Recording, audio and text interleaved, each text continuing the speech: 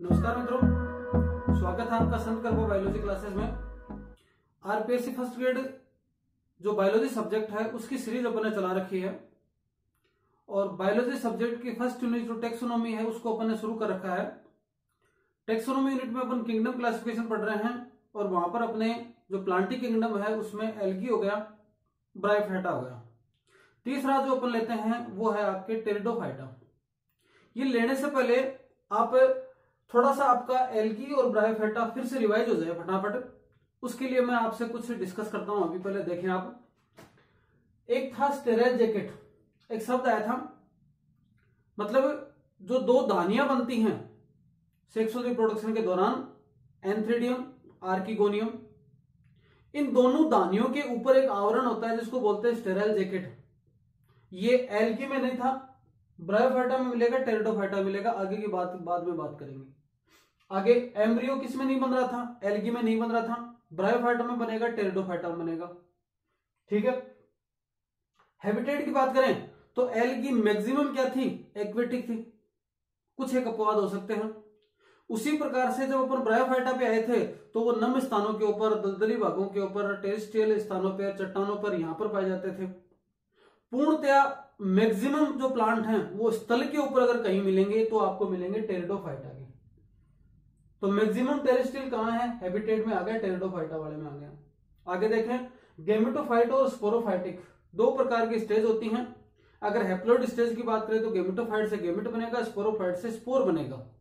Sporophytic body diploid होती है gametophytic body haploid होती है। एलगी के अंदर गेमिटोफाइटिक स्टेज डोमिनेंट थी। जब हम ब्रायोफाइटा पढ़ा तो ये पढ़ा था कि स्पोरोफाइटिक स्टेज है, वो गेमिटोफाइट पर डिपेंड है, क्योंकि वो अलग नहीं होती। और अब जब टेरिडोफाइटा पढ़ेंगे तो आप मान के चलिए कि तीसरी बात आ जाएगी कि स्पोरोफाइटिक स्टेज डोमिनेंट है।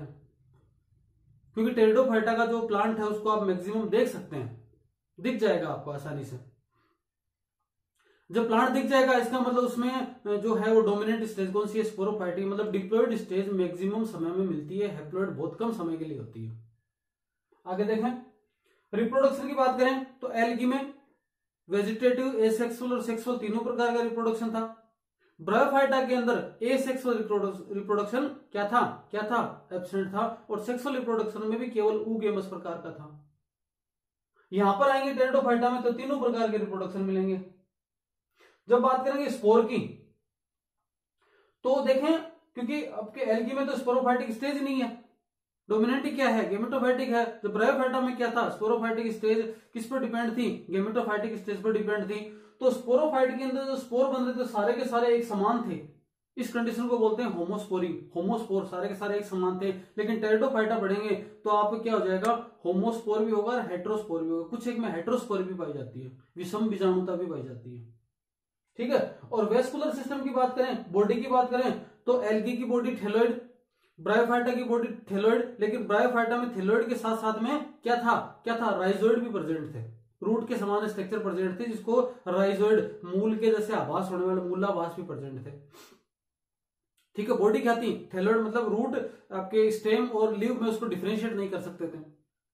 ठीक है? अब इसके अंदर फिर वेस्कुलर जो सिस्टम था वेस्कुलर सिस्टम कहाँ तक ब्रायोफाइटा नहीं, नहीं तक नहीं था लेकिन वेस्कुलर सिस्टम प्रेजेंट हो जाएगा किसके अंदर? टेरिडोफाइटा के अंदर। मतलब टेरिडोफाइटा प्लांट को आप रूट स्टेम और लीव के अंदर इजीली क्या कर सकते हैं? डिफ्रेंशिएट कर सकते हैं। और वेस्कुलर सिस्टम प्रेजेंट है। इसका मतलब क्या हुआ? इसका मतलब ये हुआ कि इसके अंदर जाइलम और फ्लोएम भी पाया जाता है।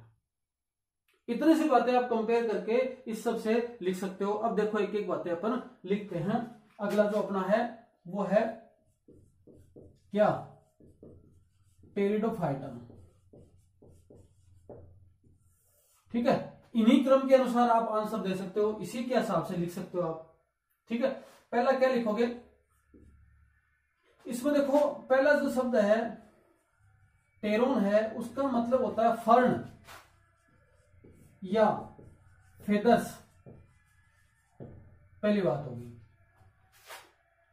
टेरिडोफाइटोकम प्लांट किंगडम का का रेप्टाइल्स कहा जाता है। ब्रायोफाइटो क्या बोलते थे? क्या बोलते थे? एम्फीबी ऑफ़ प्लांट किंगडम इसको क्या बोलते हैं? क्या? रेप्टाइल्स ऑफ़ प्लांट किंगडम आगे देखें। हैबिटेट ले लेते हैं यहाँ पे। ये आगे की बातें आ जाएँगी। आगे लेंगे इनको। अभी अपन हैबिटेट ले लेते हैं। तो हैबिटेट में देखो कि first maximum terrestrial plant maximum कुछ एक पौध हो सकते हैं लेकिन अधिकतर प्लांट कैसे होंगे? क्या होंगे? टेरिस्ट्रियल प्लांट होंगे धरती पर स्थल आवास में पाए जाएँगे। ठीक है वो जलीय में थे एलगी वाले और ये अपन डिस्कस कर, कर चुके अपन। आगे देखो। इसमें आपको क्या याद रखना एक बात ये एक बात आपको ये याद रखनी है कि पुष्प रहित कोमा बीज रहित कोमा फल रहित कोमा स्पोर उत्पन्न करने वाले वेस्कुलर प्लांट। अब वेस्कुलर प्लांट है, इसका मतलब अपन बोल सकते हैं इसके अंदर वेस्कुलर सिस्टम प्रेजेंट है। ठीक है? मतलब क्या हुआ? ऐसे vascular plant vascular system present है, इसका मतलब क्या प्रेजेंट है इसके अंदर? इसके अंदर जाइलम भी पाया जाता है, इसके अंदर फ्लोएम भी पाया जाता है। अब देखिए, जाइलम और फ्लोएम के चार चार भाग होते हैं। वो अपन टिश्यू पढ़ेंगे तो पढ़ेंगे। अभी आप इतना याद रखो कि जाइलम जो है और फ्लोएम है, उसका जो जाइलम का जो भाग है, एक वेसल्स ठीक है? और फ्लोएम का एक भाग है तो है सीवी ट्यूब और एक भाग है कैंपेनियन सेल्स। ये तीनों की तीनों चीज़ें एबसेंट होती हैं। अपवाद है इसके हालाँकि, पर ये चीज़ें आपको यहाँ पर याद रखनी है कि टेरिडोफाइटा में एबसेंट होते हैं। एक टेरिडोफाइटा में सेकेंडरी ग्रोथ नहीं होती। सेकेंडरी ग्रोथ क्या होती है? एबसेंट होती है टेरिडोफाइटा में। इतनी बात याद रखोगे आप? क्या रखोगे? कि ऐसे वेस्कुलर प्लांट मतलब ऐसे प्लांट जिनमें एक बात और याद रखो यहाँ पर, रूट है, स्टेम है और क्या है? आपका लीव्स है। इसमें इजीली डिफ्रेंशिएट है ये डिफ्रेंशिएट है ऐसे प्लांट तो ऐसे प्लांट जिनमें रूट स्टेम लीव आसानी से पाया जाता है, आसानी से आपको पता चल जाएगा ये इसका स्टेम है, इसका रूट है, इसका लीव है। ऐसे वेस्कुलर प्लांट इनमें क्या नहीं होगा? तो बीज नहीं होगा। बीज नहीं होगा तो क्या नहीं लगेगा? फिर आगे जाके बड़ा होगा तो पुष्प भी नहीं लगेगा इसमें और पुष्प नहीं लगेगा तो क्या नहीं लगेगा? फल भी नहीं लगेगा। लेकिन स्पोरोफाइटिक स्टेज डोमिनेंट है, इसलिए क्या उत्पन्न करते हैं ये? ये क्या उत्पन्न करते हैं? स्पोर उत्पन्न करते हैं। ठीक है? आगे देखें। वेस्कुलर सिस्टम का मतलब क्या हो गया? कि इसके अंदर जाइलम और फ्लोएम क्या है? प्रेजेंट है। लेकिन जाइलम और फ्लोएम के अंदर क्या एबसेंट है? जाइलम में वेसल्स ठीक है? जैसे जाइलम के चार भाग होंगे। एक जाइलम के अंदर ट्रेकाइड्स होते हैं, एक जाइलम के अंदर वेसल्स होते हैं, एक जाइलम के अंदर पेरेंकाइमा सेल होती है, एक जाइलम के अंदर स्टेरल सेल होती है। तो इन चार में से चार प्रकार की सेल्स में से एक प्रकार की सेल्स है, उसका ग्रुप यहाँ पर एबसेंट है वेसल्स का, और फ्लोएम के अंदर सीवी ट्यूबर कंपेनियम सेल नहीं पाई जाती, बाकी सब पाई जाती हैं, और उसके अंदर सेकेंडरी ग्रोथ नहीं पाई जाती। तो वेस्कुलर सिस्टम तो प्रेजेंट है, लेकिन उस वेस्कुलर सिस्टम में ये ये चीज़ें क्या होती हैं, यहाँ पर एबसेंट होती हैं। हालाँकि कुछ में ये भी पाई जाती हैं, लेकिन उसको टिश्यू वाले में पढ़ेंगे या नहीं पढ़ेंगे। ठीक है? अब देखें। जब अगर यहाँ पर वेस्कुलर सिस्टम प्रेजेंट है, और आगे ये जो बात है ना, क्या? स्पोर ये वाली स्टेज गेमेटोफाइटिक और स्पोरोफाइटिक तो आपको क्या याद रखना है? आपको याद रखना है स्पोरोफाइटिक स्टेज स्पोरोफाइटिक स्टेज क्या है? यहाँ पर डोमिनेंट है। स्पोरोफाइटिक स्टेज क्या है? डोमिनेंट है। लेकिन एक बात मैंने यहाँ भी बताई है स्पोर बनेंगे, वो दो प्रकार के बनेंगे। जबकि ब्रायोफाइटा तक क्या थे? ब्रायोफाइटा में क्या बने थे? होमोस्पोरी। यहाँ पर दोनों प्रकार की चीज़ें होंगी। यहाँ पर स्पोर जो होंगे, वो होमो भी होंगे और क्या होंगे? हेटेरो भी होंगे। ठीक है? अब देखो जो हेट्रोस्पोरी है ना, हेट्रोस्पोरी विभिन्न प्रकार के अलग अलग उसके अंदर क्या होंगे? जैसे हेट्रोस्पोरी का मतलब क्या हो गया? कि मेल अलग होगा और क्या है? फीमेल अलग होगा, जबकि होमोस्पोरी के अंदर मेल और फीमेल क्या है? दोनों एक जैसे हैं, एक समान है। इसके अंदर क्या होंगे? हेट्रोस्पोरी में अलग अलग प्रकार के होंगे। और इसको आप ऐसे कैसे याद रखोगे? क्या याद रखोगे? अलग अलग एस एम एस आई को करो। आई मतलब जो, अम्मा होती है, अम्मी होती है, उसको आई भी बोलते हैं कई स्थान पे तो अलग अलग का मतलब क्या हो गया? हेट्रोस्पोरी अलग अलग का मतलब क्या हो गया? हेट्रोस्पोरी और यहाँ पर एस का मतलब ये आपको याद रखना है। सिलेजिनेला। एम का मतलब याद रखोगे। मार्सिलिया। एस का मतलब रखोगे। साल्विनिया। और आई का मतलब याद रखोगे। आइसोइड्स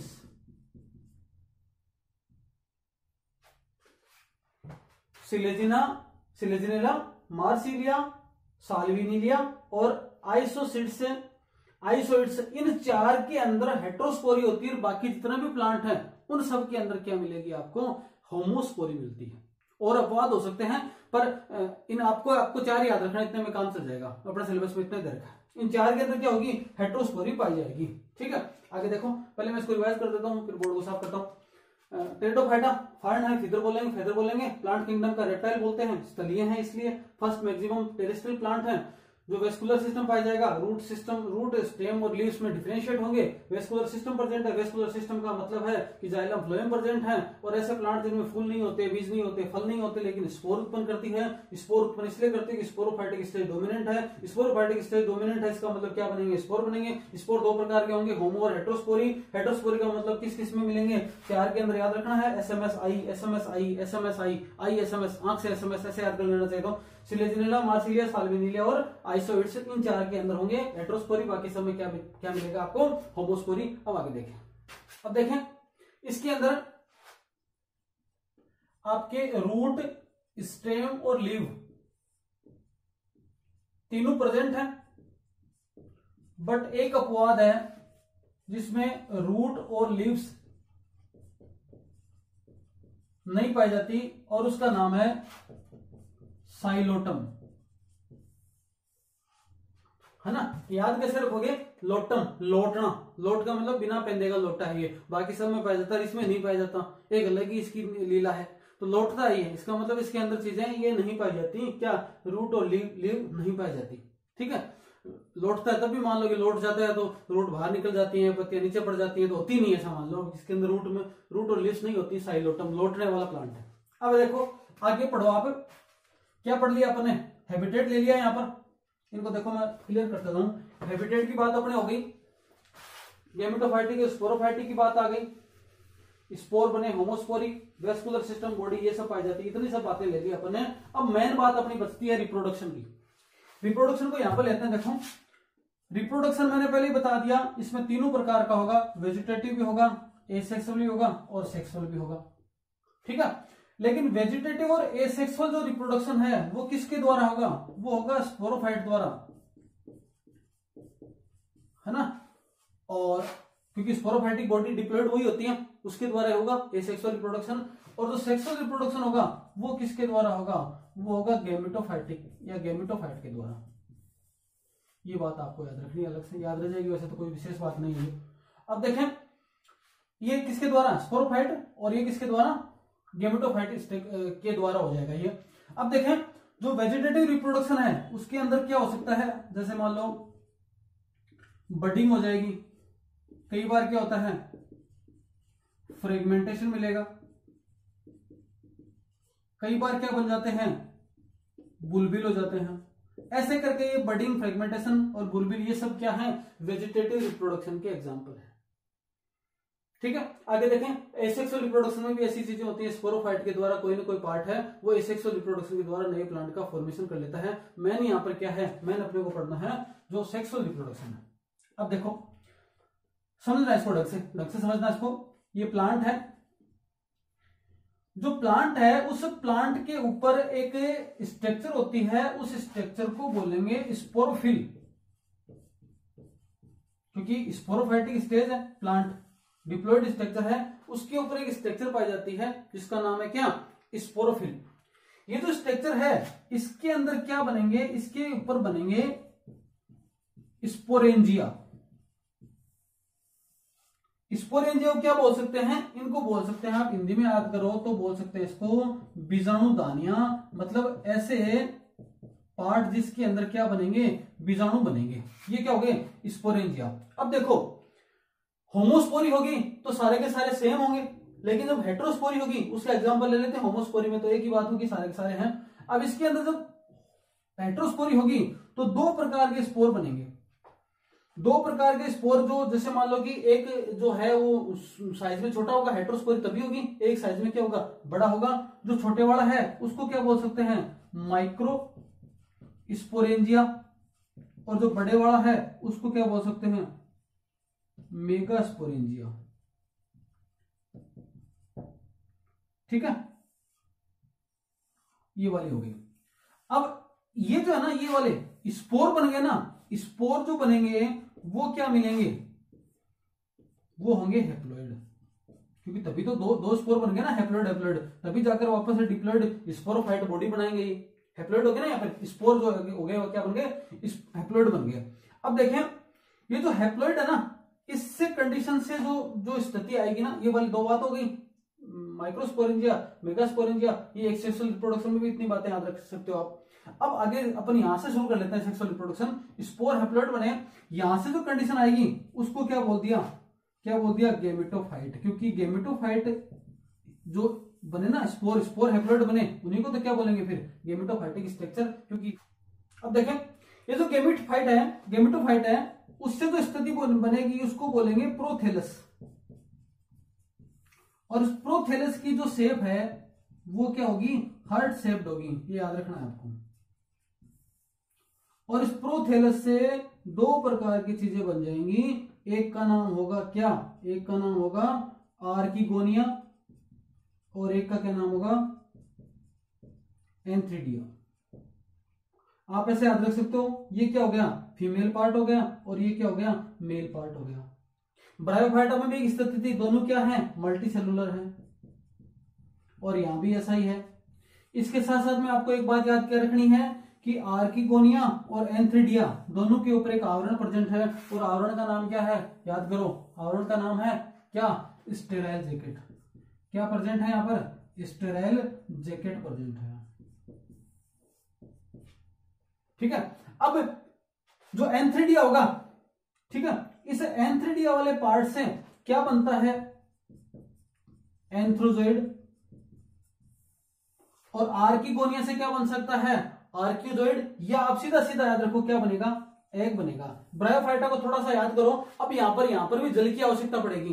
पानी के पहुँचेंगे पास में और पानी के पास पहुँचने के साथ साथ में ये एंथ्रोजोइड है, वो पानी में मूवमेंट करेगा।